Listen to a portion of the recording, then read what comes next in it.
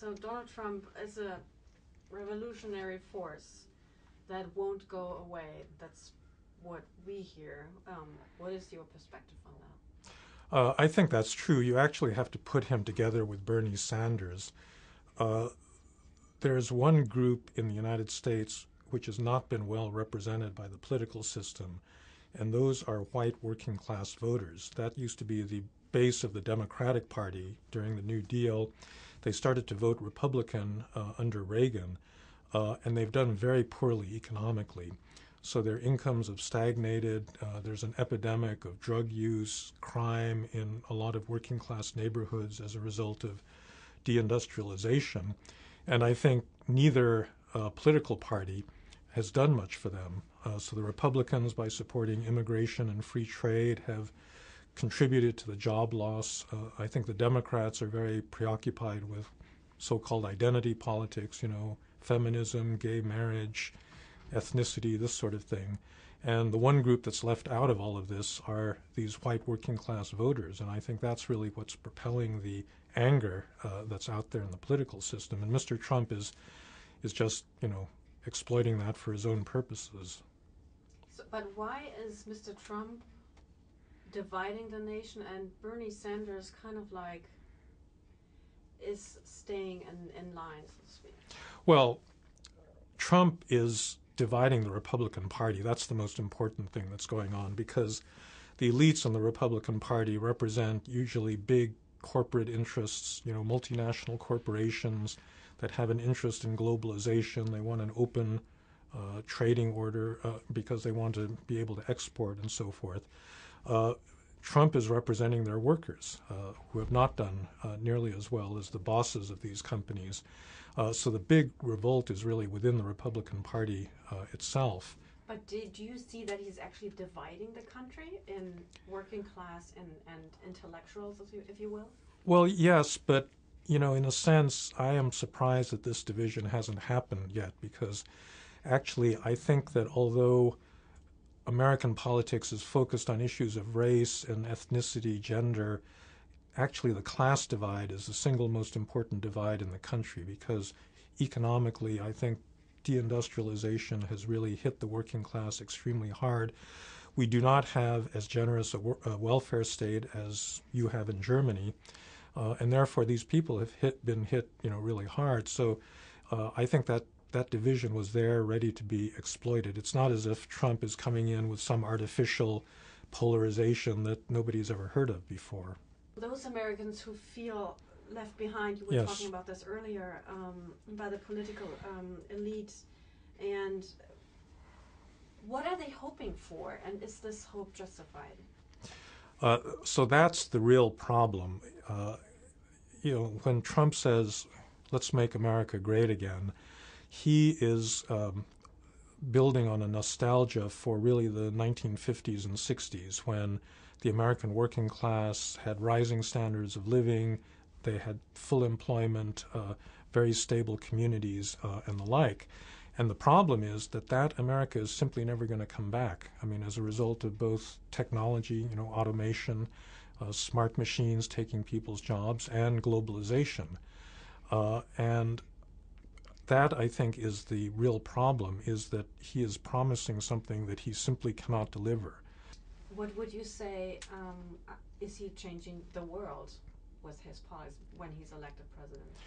Uh, if he actually follows through on some of the foreign policy uh, pronouncements that he's made. Yes, he will change the world. I mean, he basically has suggested that the United States should walk away from, you know, its existing alliances, NATO, Japan, uh, you know, other countries, uh, South Korea, that have depended on uh, the United States. He has expressed admiration for Mr. Putin and a number of other uh, authoritarian leaders. Uh, He's, you know, a very belligerent nationalist, so he would change the tone of America's dealing with, with other countries. Uh, now, again, we don't know whether he will try to make a transformation into a more statesmanlike person once he actually has to run for president, and you know, God help us if he actually becomes president. Uh, so we don't know, you know, in the end, but certainly everything he's said right now suggests that it would be a really major uh, American realignment do you see more terrorism?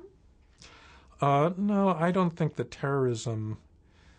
So first of all, I you know I think that terrorism has been consistently overemphasized in American politics as a problem. It's not an existential threat to the United States, and all presidents are going to deal with it in you know largely the same way. Uh, so I don't expect that to be the important thing. I really do think that the big issue is how America treats its friends and allies, because that's been the bedrock of global stability. I think for the last, you know, really since the end of the Cold, uh, since the end of the Second World War, uh, and that uh, is being thrown into question by Mr. Trump. Does he actually mean what he says, and or is it just campaigning, a campaigning Trump right now? Uh, I don't think anyone, anybody knows what he really believes about anything.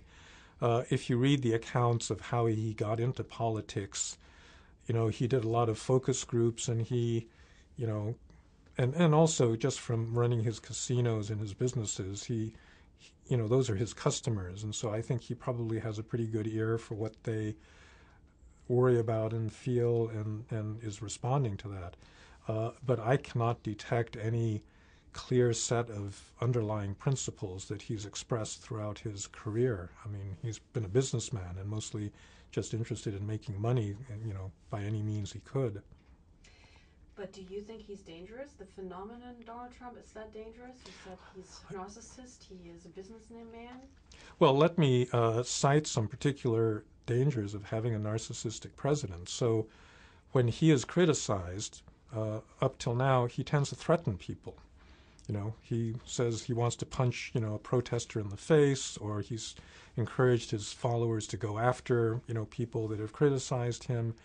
Now, it's one thing if, as a businessman or a candidate, you say things like that, but if you're the president of the United States and you want to intimidate, you know, you don't want to just answer your critics, but you actually want to use whatever means you can to intimidate them, then you actually cease being a democratic politician and you have moved over into a different kind of uh, space. And I think this is, you know, what he's playing with right now.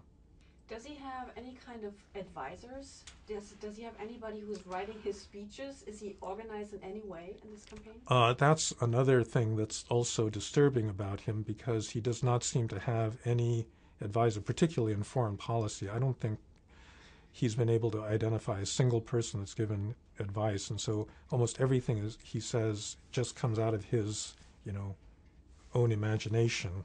What do you think about Mr. Trump?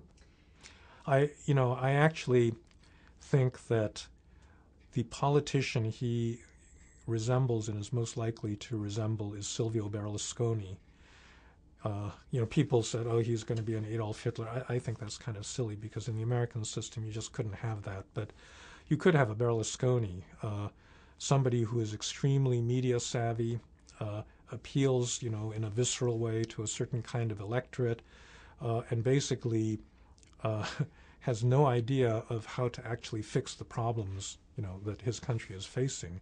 Uh, that I, I think is the real danger here. What else do you see will come if he's elected president? Corruption? What else? Uh, well, it, it could be corruption, uh, but I think mostly it will be a continuing, it will be an intensification of the polarization that has affected the United States, uh, you know, and, and, made it very difficult for the government to make uh, decisions up to this point. What is this with this government bashing? Well, that is something that's completely not new in American politics.